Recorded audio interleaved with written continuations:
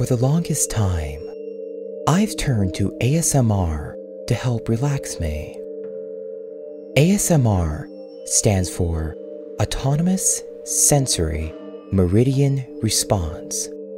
It's basically a brain orgasm that is triggered by personal attention, tapping sounds, deliberate tasks, ear or microphone covering, and, well, there's a multitude of things that can trigger that sort of response. It's been my go to for anxiety for the last couple of months. You can find these videos easy enough on YouTube. I usually listen to massage ASMR before bed. But as I laid there, listening to inaudible whispering videos, I started to feel a bit chillier than usual. So I decided to get up and grab a sweater. My window was open, and it was a bit of a colder night.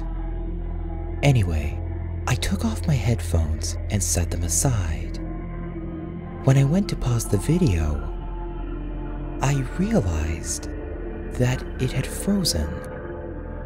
Sometimes our connection is a bit shoddy. I was listening for about 30 minutes, so I guess that could explain it. My internet had been trying to load an hour long video. Still, it should have loaded by now, right? I decided to click near the beginning of the video to back up and just listen to the same 30 minutes before bed.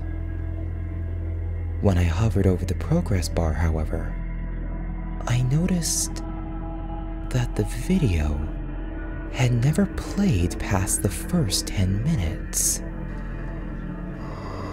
In retrospect, I should have realized something was wrong when I thought I could feel the breath on my ears.